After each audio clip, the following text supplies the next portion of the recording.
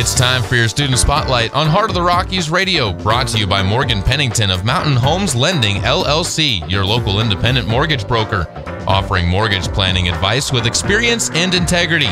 For more information, go to mountainhomeslending.com. NMLS 1856220, Equal Housing Opportunity, regulated by the Division of Real Estate.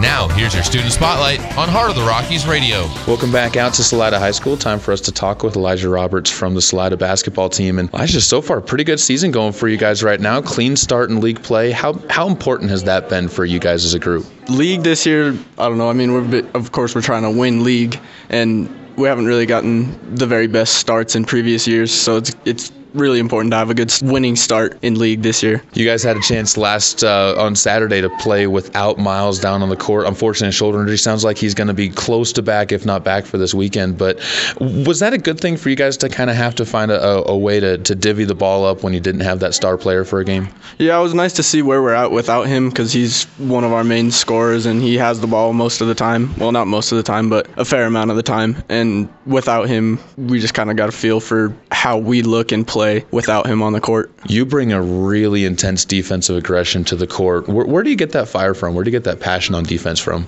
I don't know. I've just never wanted anyone to be better than me or get past me, so I just really kind of step it up on defense and try not to let anyone get past me as guards, you, Jonah, and, and, RJ really have come out and played some great basketball on the defensive side. How much does that help the offense and help out with Leaf and, and, and Miles inside when they're going for the rebounds? It helps a lot. Like good defense, obviously we'll get some steals and just push the ball up early and get some fast breaks. So that helps. Also, the big men running down the court, we can find them for an easy two points. So yeah, I mean, the defense definitely transitions into the offense and helps us out a lot. I feel like it gives us more fire on offense if we're playing good on defense. You guys have some good tests coming up this weekend, but we'll focus on Manitou Springs. Right now, looking like the second best team, kind of kind of going into the league schedule. But where are you at with that team, and what do you guys got to do do to to come away with a victory in that one or slow them down? I think our biggest thing is to get out on their shooters. I know they've got some good shooters, so our defense will probably have to play man and just get out on their shooters and just lock them down on defense defense first, and then we'll worry about offense. It's always good to get those tests, and I'm excited for this weekend. Thank you so much, and, and good luck, Elijah.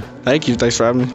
This has been your Student Spotlight, brought to you by Morgan Pennington of Mountain Homes Lending LLC, your local independent mortgage broker. Be sure to check out heartoftherockiesradio.com for replays of this interview and others throughout the season.